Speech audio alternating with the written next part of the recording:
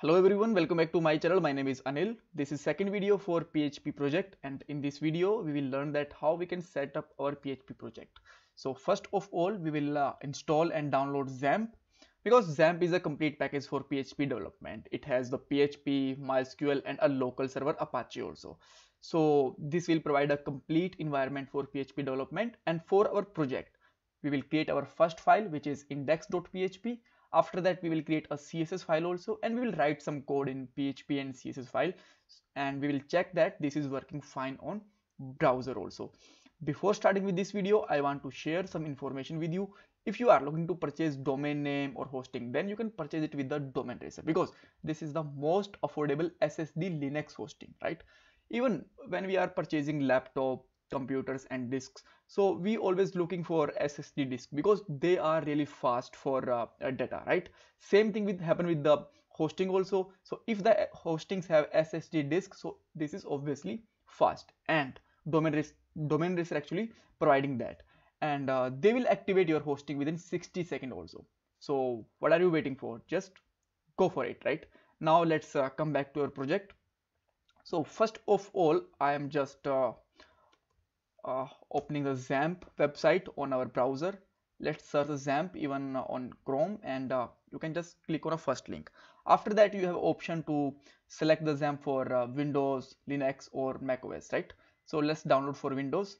So the size for XAMPP is around 17 uh, 157 MB so I am actually cancelling it because I already downloaded the file so that we can save the time right?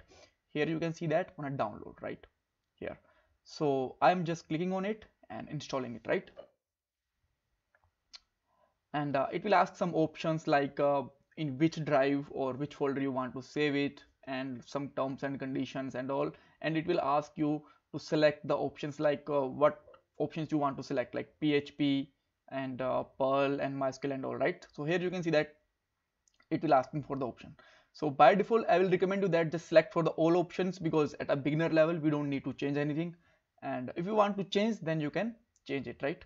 So now let's download them oh let's install them.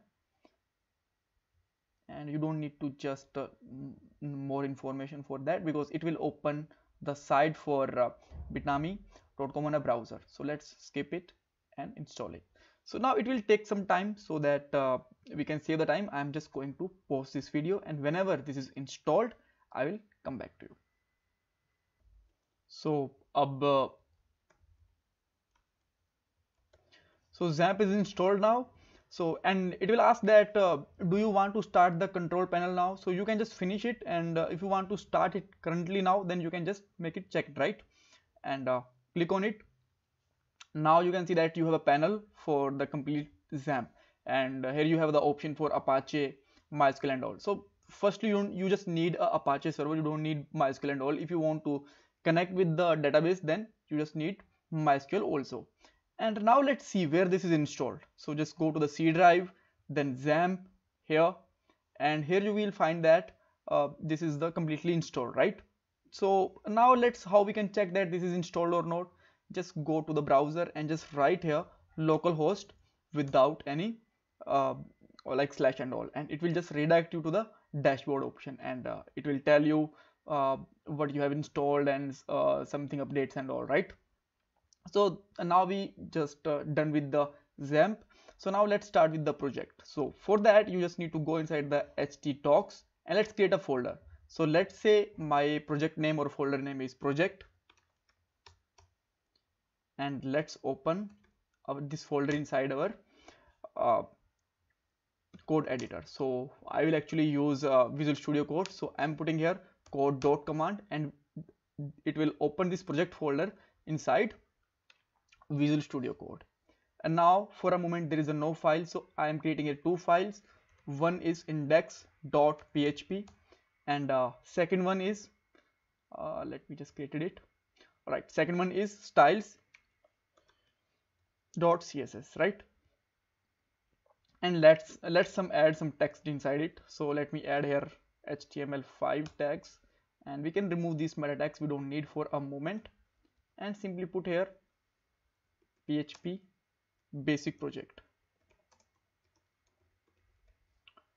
All right after that what we can do uh, let me add here one more h1 tag right?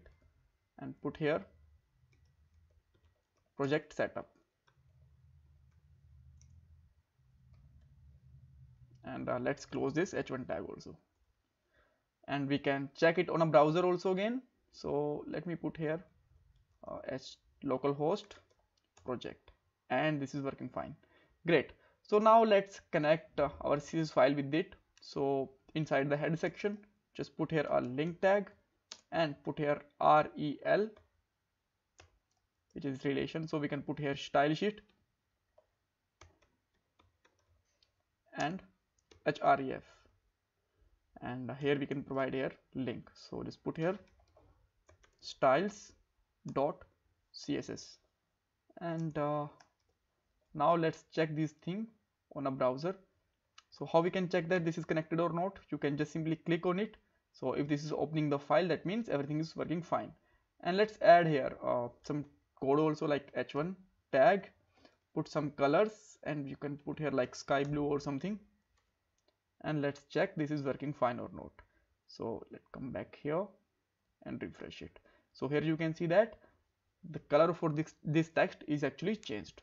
So that's all for this video. If you still have any kind of confusion you can ask me in the comment box. And in next video we will create our home page navigation menus and uh, other things also. So bye bye take care